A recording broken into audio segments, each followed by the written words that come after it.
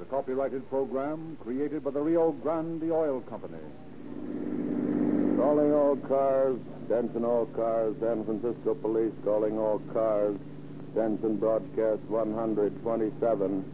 Be on the lookout for a man described 5 foot 10, 130 pounds, gray hair. This suspect is wanted for questioning in connection with the burglaries in the marina and on Nob Hill. That's all.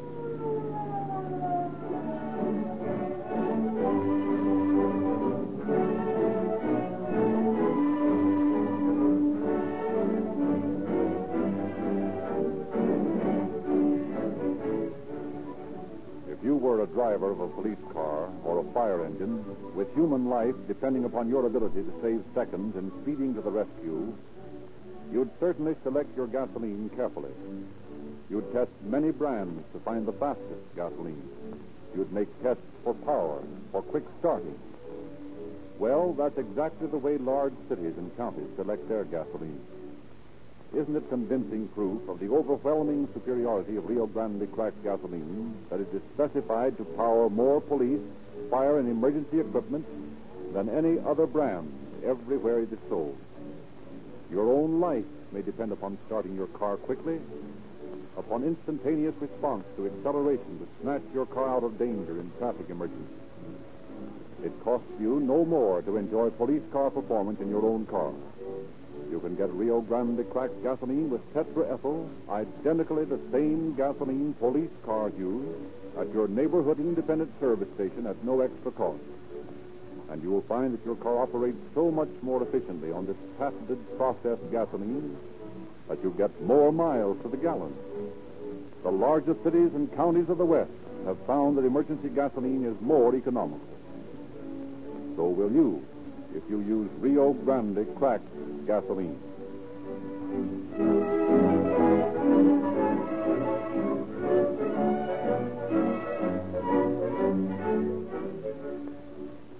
And now it is our great pleasure to present Sheriff Murphy of San Francisco County, who will speak to you from the studios of station KFRC in San Francisco. Sheriff Murphy.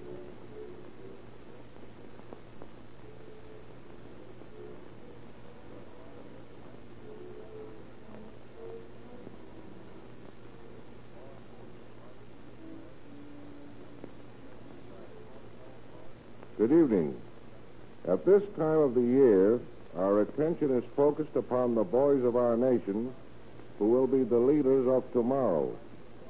All over the country, boys are being extolled to virtue, inspired to emulate their fathers, told of the debt they owe their parents.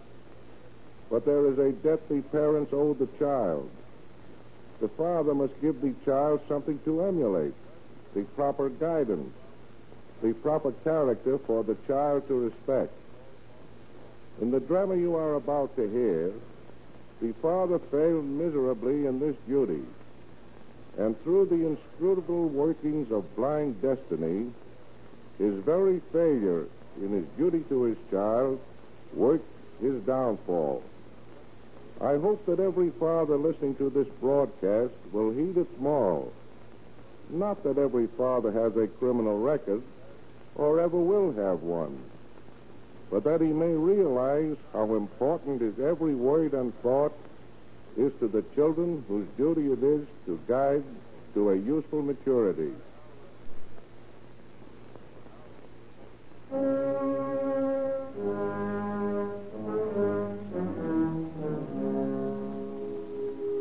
Several years ago, during the recreation hour in the prison yard in Folsom Penitentiary. Well, Red, I get my papers next week. Yeah? Yeah, the board finally got around to giving me a parole. Gee, that's fine.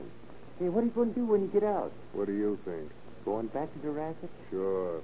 Listen, I did a sleep in Quentin and another in Walla Walla. And why? Because I made mistakes. Well, I've been doing a lot of thinking since I've been up here, and I know how to beat the rap every time now. Yeah? What's the system, huh? Think I tell you? Listen, all you need to know is this. I'm going to clean up when I get on the outside, and the copper ain't born that'll ever catch up with me.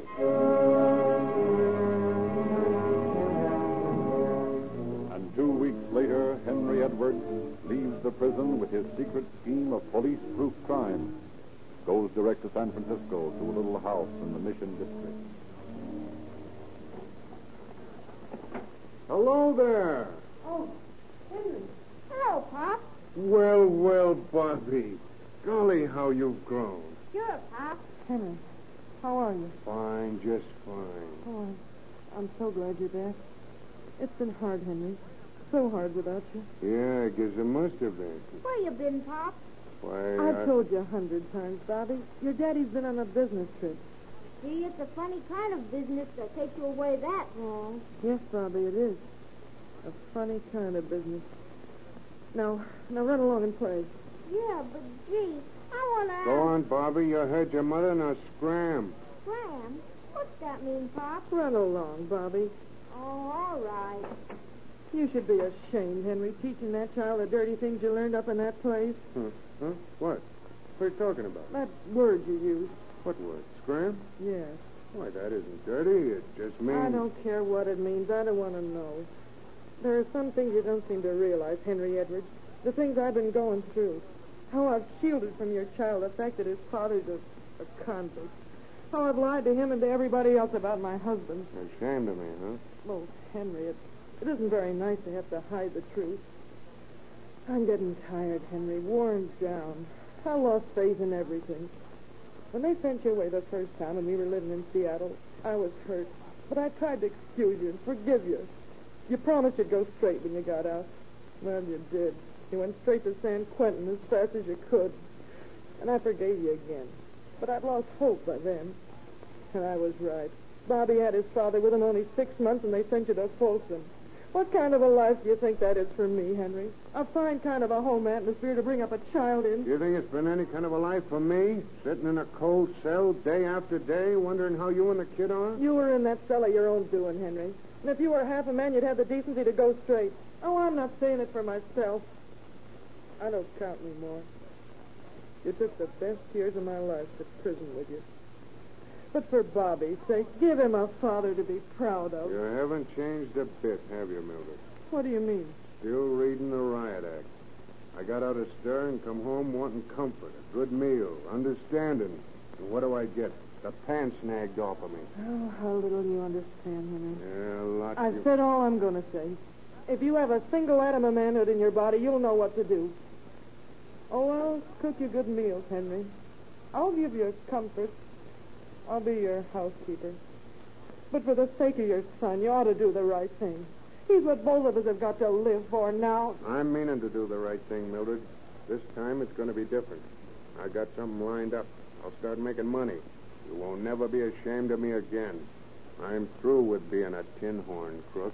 Oh, Henry, if I could only believe you.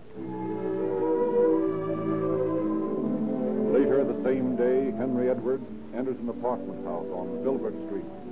Rings the bell of apartment 108. Hey, In person. oh, darling, come on in. Sit down. Tell me all about yourself. When did you get out? Oh, no. No, don't say anything. Kiss me first. There. That's better. Oh, I've been missing that. So have I. Have a drink? Sure. Here you Here's to us. To us. Place hasn't changed much. I've kept it just the way it was, waiting for you to come back. Swell. What you gonna do now? I got plans. They're never going to put me away again. I'm going to clean up, and then you and I are going away for good. Nothing would suit me better. Listen, I learned plenty in the big house. That place is a university, and I got a master's degree. Now, here's the dope. I told the old woman I'm going straight, see? Saves a lot of argument. So I'll work out of this joint. Anything you say goes with me. That's the way I like to hear you talk, baby. I'll tell the old lady I got a job at night somewhere, and that'll leave me free at nights to glom me a bankroll.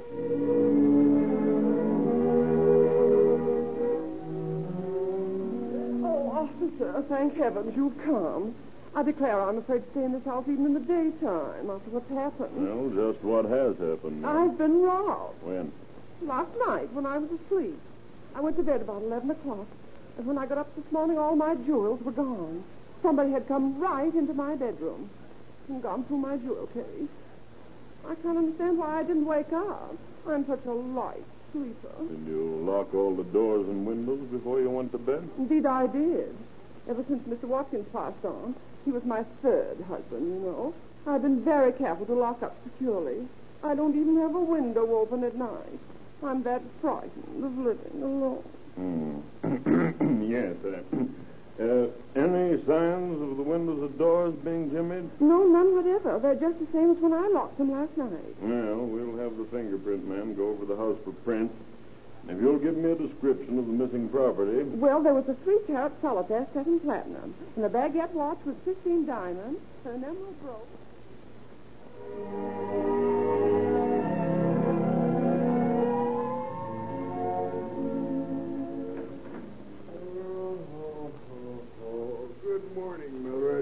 Morning.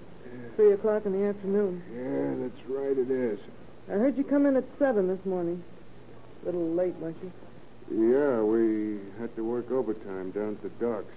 The fog held that New Zealand freighter off the gate most of the night, and we had to get her cargo off as soon as she docked. You like a cup of coffee? Yeah. I got some hot for you. Thanks. Uh, Henry, Yeah? I want to talk to you about Bobby. What's wrong with him? Nothing's wrong with him. Well, Don't you think you ought to get acquainted with him? what do you mean? Well, the boy scarcely knows you. You scarcely know him. You spend most of the year since he was born in prison. Now, Mildred, don't start harping on that again. I don't intend to. Only now you work all night and sleep all day. What do you mean all day? It's only three o'clock. Yes, he'll be going off somewheres like he always do in another half hour. Well, what of it? Couldn't you spend a little time with a child? He adores you. Can't you return a little bit of his affection? Yeah, I guess you're right. He's a good kid. What do you say I take him to a movie this afternoon? Oh, he'd love it. All right, I'll do that. Where is he? He's playing out front. I'll go out and get him right away. We just got time for the second show.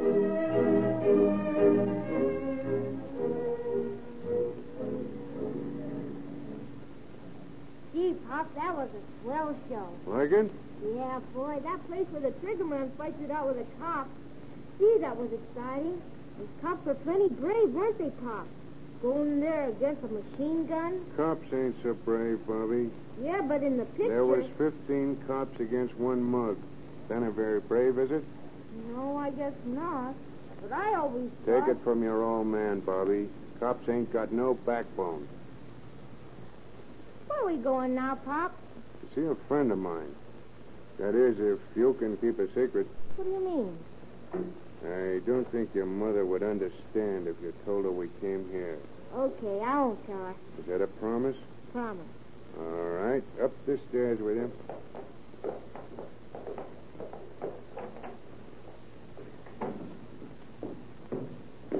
There we are.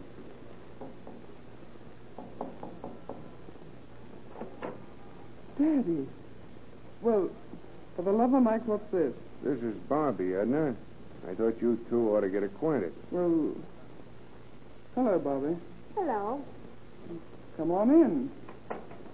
Wash yourself. I've uh, got something out here the little boys like. Hey, Pop, how come she called you Daddy? Huh? Oh, uh, uh, you see, I, I'm like a father to her. Yeah? Like you are to me? Well, yeah, sort of. Gee. Here we are, Bobby.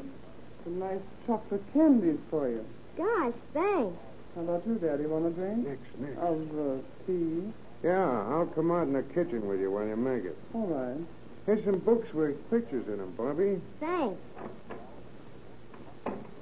Daddy, look at that kid over here. The old lady made me take him out to a movie, and I had to see you. Is everything okay? What do you mean? The bulls haven't been around, have they? Why should they? I uh, thought you had a foolproof system. They have, but I'm still a little nervous. So long since I pulled a job. Well, don't you worry, honey. I've got all the stuff safely hidden away in my closet. Now, you better get that kid home to his mama before he gets wise. I'll see you later. Okay. Well, Bobby, let's get started home. No, I don't want to. Why not? I like her. And I like Edna. She's prettier than Mom, ain't she, Pop? Well, yes, I guess she is. Of course, Mom's nicer, I guess. There ain't nobody nice Mom, is there, Pop? Well, now, come on, Bobby. We're going home, I said.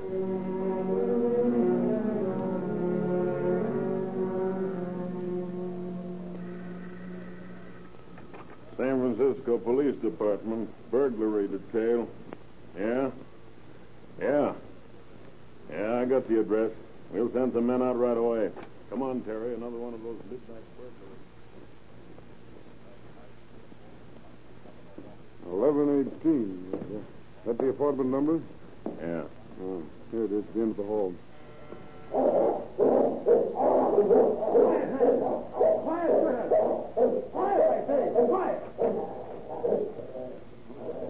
Good morning, gentlemen. We're from the burglary squad. Yes, I've been expecting you. Come in. Quiet, I say. Quiet now. You certainly have a couple of wide awake watchdogs there. Hmm, that's the mystery of this whole thing. You heard them just now when you rang the bell, Yeah. I thought they'd tear us apart. uh, but they never woke while our apartment was being robbed. Are you sure of that? Positive. Uh, I- I was awakened by some drunk who had the wrong phone number, and as soon as the bell rang, the dogs began to bark. But there was no sound before that. Hardly seems possible a man could work so quietly that he wouldn't wake a pair of police dogs. Yeah, but apparently he did. Hmm. I, I was going to shoot the dogs in the morning, but they seemed to be alert enough when you arrived. Hmm. Perhaps you've saved their lives. No, just what have you lost? Everything. All my wife's jewels and even my billfold from the pocket of my trousers, which were hung up in the closet. How many entrances are there to this apartment? Just this door and the service door to the kitchen. It's still bolted. No different much from this door. Was it locked? Securely. I brought the windows. Did they go out on any fire escapes? No, uh, it's 11 stories down to the street. And your burglar must have let himself in this door. He's a mighty slick worker to have gotten away with that. Better have the fingerprint man sent up, Terry. And I'm getting a description of the stolen goods. Right. For months, such burglaries occur with exhausting regularity. Yet police can find no trace of the stolen goods in the pawn shops, nor can they discover a single fingerprint at the scene of the crime. All over the Bay District, Edwards carries on his one-man crime wave, while authorities can only wait for the day when he will attempt to unload his loot. And then, into the robbery squad one morning comes an excited uniformed officer. Captain, I got a burglary to report. Where? At my house. What? Yes, sir. And I think it's this mystery guy we can't get a line on. Same M.O., no prints, no Jimmy. What'd he get? Some jewelry and money and my gun. Your gun. Yes, sir, my gun. Here's the number of it. If he tries to sell that, we'll have a line on him. You bet we will. Thanks for reporting this so promptly, McNulty. I'll have every pawn shop in town on the lookout for that gun within an hour.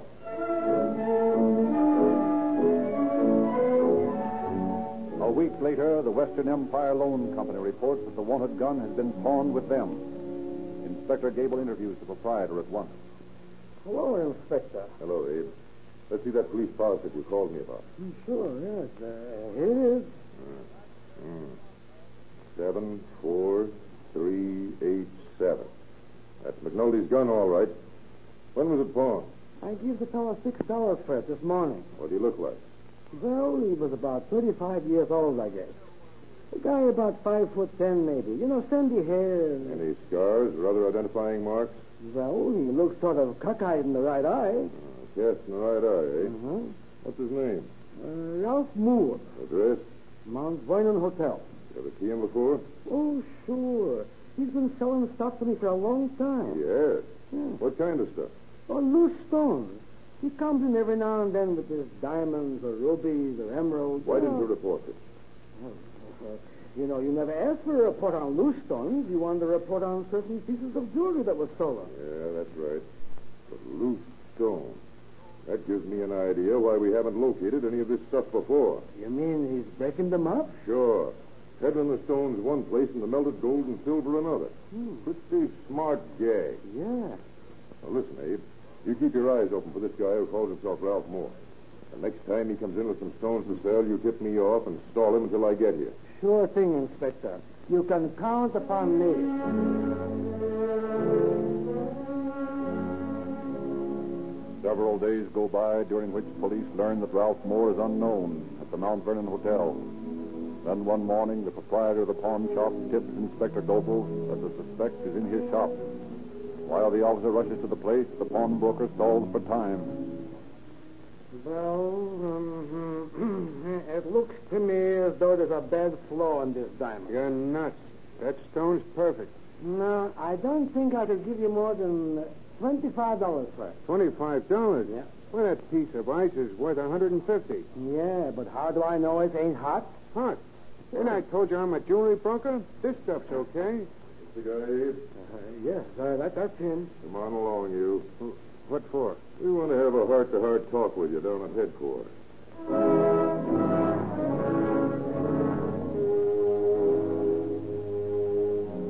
Now, what's your name? Thomas Moore. And I'm a jewelry broker. Yeah, so I heard you say. Where do you live? The Mount Vernon Hotel. You're lying on both counts, my friend. We've already checked that story. They never heard of you at the Mount Vernon. Well, that's funny. I can't understand. All right, now let's stop beating around the bush. Listen, you guys ain't got nothing on me. Yeah, we got a lot of interesting unmounted stones that you'll have to explain. I can explain them. A guy gave them to me to sell. Yeah, that's a likely story. I suppose he gave you that police positive to sell a week ago, too. Yeah. Who is this friend of yours? You wouldn't want me to double-cross a pal, would you? You, of course not. Well, seeing as you're innocent, maybe you'll tell us your right name. Uh, my name's Henry Edwards. Henry Edwards, eh? Where do you live? Out on Evergreen Avenue, 1625. Fine. We'll just check on that story. Come on, Harrison. Say, Terry, don't let this bird sell you any hot emeralds while we're gone. Don't worry.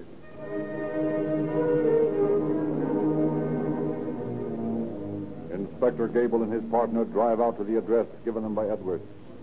Mrs. Edwards knows all too well who they are when she answers the door. Yes, Does Henry Edwards live here? yes, Are you Mrs. Edwards? yes. You're police officers, aren't you? That's right. What's he done now? Beg pardon, ma'am? Oh, your husband's been in trouble before, eh? Why, uh, that is, um, no, I, I just thought he might be drunk or something. No, ma'am. He isn't drunk. Well, what is it you want? We want to ask you some questions. Very well. Does your husband work? Yes. Where? He works on the Embarcadero. Night shift. Where exactly on the Embarcadero? Why, he, he he never did say. Ain't likely he picked up them sparklers in one of the docks, Gable. No. Uh, Mrs. Edwards, we just took your husband into custody. He had several hundred dollars worth of unmounted stones on him. Have you any idea where he got them? Why, why no, I, I haven't. He never discussed them with you. Never showed them to you. No, Mrs. Edwards, do you know anyone who was associated with your husband? no. If he had any friends, he never brought them around here. Would you have any objections if we searched your house? Wouldn't do me any good if I had, would it? Come on in. Officers thoroughly search the Edwards home, find nothing. At last, convinced of the woman's innocence in the case, they leave the house. At the curb, they find young Bobby eagerly inspecting the police car. Well, young fella, think you'll buy it? You're cops, ain't you? We're detectives. Oh, sick, huh? My pops says cops ain't got no backbone. Oh, he does, does he? How does he know? I don't know, but if he says so, it's so. Where do you live? In there. Oh, then you must be Henry Edwards' little boy. Yeah, I'm Bobby. Listen, make the siren go, will you? Say, Bobby, uh, what's your pop do? Does he work? Yeah, down on the dock. Let me see your gun, will you? Sure. Take a look. Gee, it's a big one. Uh-uh. Mustn't touch it, Bobby. Might go off. Yeah? Sure. Ever see your pop with a gun like this, Bobby? Uh-uh. Who's your pop hang out with, Bobby? I don't know. Doesn't anybody ever come over to the house? Nope. Doesn't your pop ever go to visit anyone? Sometimes. Make the siren go, will you? In a minute. Uh, who's he go to visit? Well, I went over to Edna's with him once. Edna. Who's she? Well, she's sort of a sister of mine, I guess, because she calls Pop Daddy. Oh, she uh, does, does she? Yeah, he's awful nice. She gave me candy, only Pop told me not to tell Mom we went over there, and I didn't. Uh, that was very wise, Bobby. Just uh, where does this Edna live? Oh, it isn't far from the movies. What movies? The one's over by the park. What's the street address? I don't know. Well, what's Edna's last name? I don't know. Make this siren go, will you? Say, do you think you'd recognize Edna's place if you saw it again, Bobby? Yeah, I guess so. Well, how would you like to take a ride in the car? Will you make the siren go? Sure. Gee, let's go.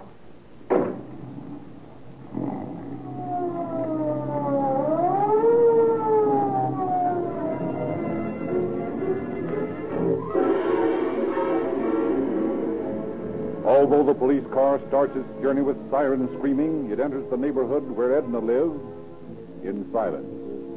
Bobby, although disappointed that the officers have turned off the exciting sound, leads them directly to Edna's apartment. As they are walking down the hall, the inspector pauses. Which door is hers, Bobby? That one across the hall. Well, now, I'll tell you what let's do.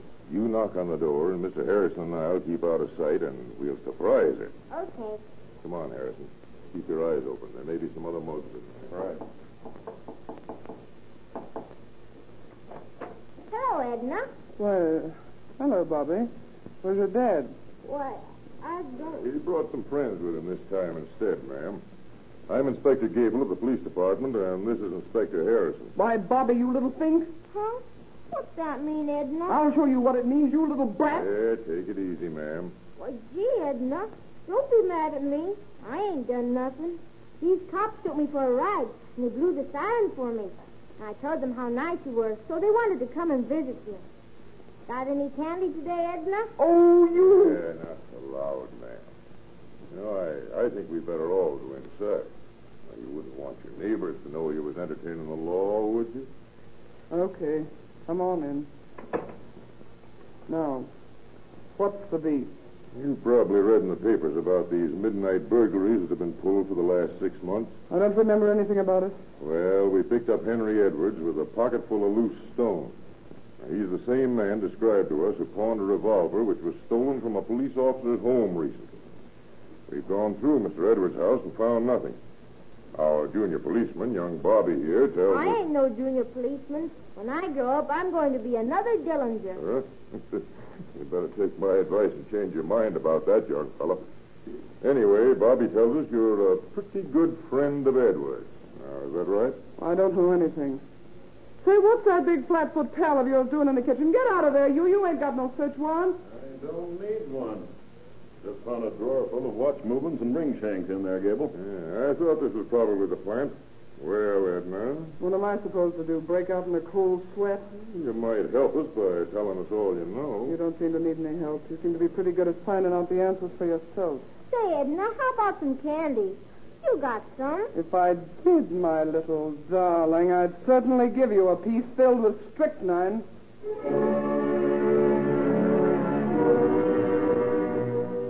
Confronted with the evidence against him, Edwards quickly confesses and eagerly brags about his prowess as a burglar.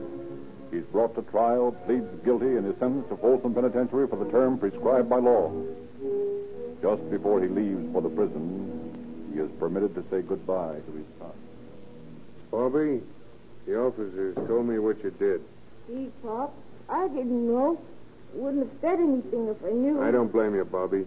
I had this jolt coming to me. But, Bobby, there's something I want to say to you. The inspector said you told him you wanted to be like Dillinger when you grew up. Yeah. It's a bum steer, kid. I know I've never been much of a father to you, but you believe what I tell you, don't you? Sure I do, Pop. All right, then. Listen to me. Never break the law, no matter what. You can't win, Bobby. I know. I've been breaking the law for years, and I've been paying the hard way. Get those screwy ideas about gangsters out of your head. They're a bunch of yellow rats. They ain't heroes. I know. You mean gangsters ain't brave? No. But you said once that coppers ain't brave either. Well, I was a little off on that one, Bobby. Coppers have got it all over gangsters. Stick on the right side. Sure, Pop. I ain't gonna be a gangster. Oh, and, uh, Bobby, Yes, Pop? don't say ain't on account of it's bum English.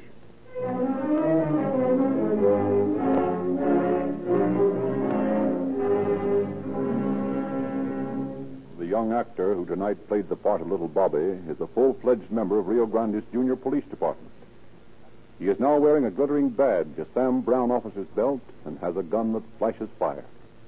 He has a complete scientific G-Man outfit at home, all furnished free by Rio Grande. Every boy and girl can have the same complete set of 15 free gifts. Just ask the independent dealer in your neighborhood who sells Rio Grande cracked gasoline. And here is a timely warning for every motorist. It's time to change to a lighter motor oil. Don't guess which grade your car needs. Go to your Rio Grande dealer. He has been trained in Sinclair scientific lubrication. He knows exactly which grade of oil or grease should be applied to every moving part of your car. And he is skilled in the correct application of the Sinclair law of lubrication, the first truly scientific method of ensuring correct automobile lubrication. You'll need gasoline tomorrow.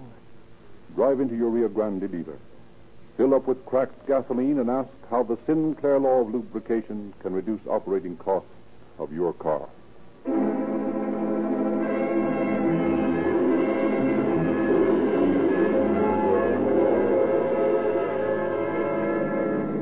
Calling all cars, attention all cars, San Francisco Police calling all cars, cancellation broadcast 127. Suspect in this case now in custody, that's all.